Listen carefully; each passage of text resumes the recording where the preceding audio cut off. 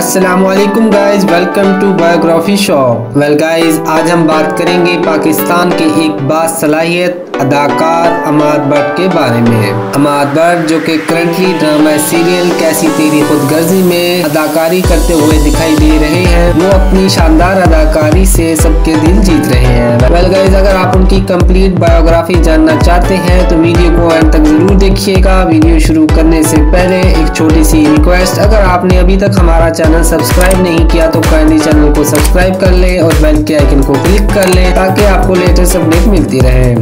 बाद एक पाकिस्तानी अदाकार और फ़ैशन मॉडल है। ये कोई राज नहीं है कि वो अपने खूबसूरत अंदाज और मुतद पाकिस्तानी ड्रामों में अपनी नाकबिल यकीन अदाकारी की वजह से फ़ेमस है। हमारे सोशल नेटवर्किंग साइट्स पर बाशमोल इंस्टाग्राम पर काफ़ी एक्टिव दिखाई देते हैं, जहाँ उनकी बहुत बड़ी फ़ैन फॉलोइंग है। कई ड्रामों में अपनी धुआंधार अदाकारी के नतीजे में वो इंडस्ट्री में बेहद फ़ेमस है।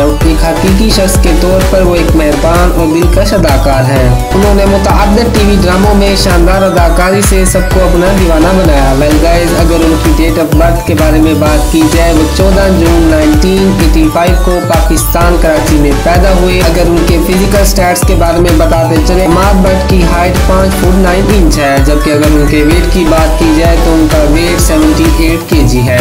उनकी आँखों का कलर ब्लैक है वेल अगर उनके बालों के कलर की बात की जाए तो उनका हेयर कलर भी ब्लैक है। मार्क भट्ट के मैरिटल स्टेटस के बारे में बताते चले। शादीशुदा है की शादी 2014 में अपनी एक कज़न से हुई थी। अब उनका एक प्यारा सा बेटा है, जिसका नाम हाथी है, जिसकी उम्र आठ साल है। इमाद भट्ट ने अपनी एलिया और अपने बेटे के साथ कुछ दिलकश तस्वीर शेयर की हैं। अमाद ने अपने करियर का आगाज़ एक फ़ैशन मॉडल के तौर पर किया और फ़ैशन ब्रांड्स के लिए कई फ़ैशन मुहिमों में नज़र आए। 2017 में ड्रामा इंडस्ट्री में कदम रखते हुए उन्होंने कई ड्रामों में मेहनत करके खुद को एक पेशावर अदाकार के तौर पर कायम किया है। अपने पहले टेलीविज़न ड्रामे बाबुल कोई दुआएँ लेती जा में उन्होंने बड़ी कामयाबी हासिल की। उन्होंने कई ड्रामों में अदाकारी की है, जैसा की दो बोल, छलावा, लापता, कैसी तेरी खुदगर्जी शामिल है। अदाकार इस वक्त दानिश तैमूर और जुल्फिशा के साथ ड्रामा सीरियल कैसी तेरी खुदगर्जी में अदाकारी करते हुए दिखाई दे रही है।